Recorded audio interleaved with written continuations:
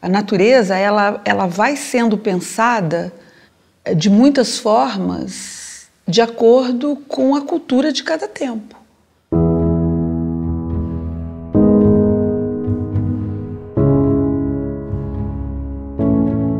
Então, quando você pergunta o que é a natureza, acho que assim, a gente precisa se perguntar o que é a natureza para nós, ocidentais, urbanos, né?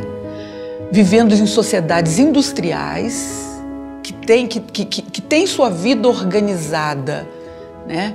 pelo trabalho, pelo consumo. Né? E o que é a natureza para a vida de povos que estão no mundo ainda, eles estão aí, eles são presentes, eles são definidos antropologicamente, eles são categorizados como povos e comunidades tradicionais. E aí a pergunta é um pouco assim: o que é que articula um seringueiro com um jangadeiro, com, com uma catadora de coco de babaçu com, e, e com alguém que vive e um boiadeiro? O que é que articula?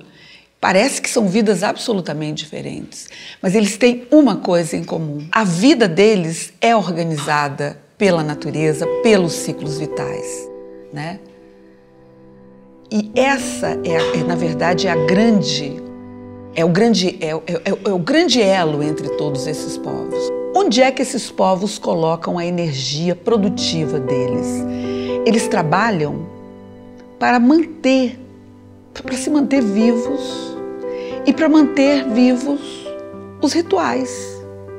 Os rituais deles, as festas deles, né? as, as cerimônias que eles têm, o modo de viver. Esse é o sentido da vida. Então, para eles, o que é a natureza? Né?